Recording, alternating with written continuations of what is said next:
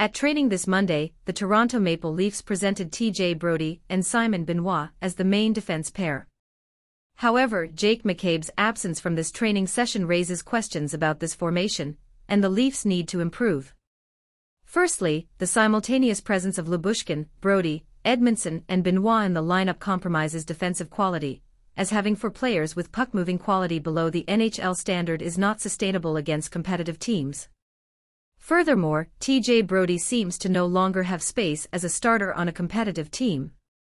Maybe he can still contribute on the third line, but he's not the best option for the first line right now.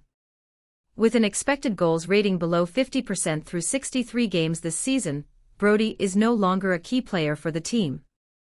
Therefore, the Leafs should take a chance on Timothy Liljegren. Against Montreal in the last game, Liljegren led the team in 5v5 ice time, and will have an expanded role going forward, being the only skilled right-hander on the team. In that sense, Liljegren should partner Jake McCabe in the main defensive pairing.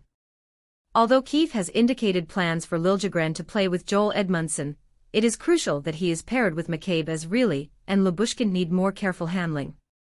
This change is inevitable, and it will happen as soon as Keefe realizes that Brodie is no longer contributing like he used to. It's an unfortunate situation, especially since the acquisitions of Brodie and Muzzin, in their prime, could have resulted in a Stanley Cup for the Toronto Maple Leafs. Unfortunately, that didn't happen, and now is the time to explore new defensive options.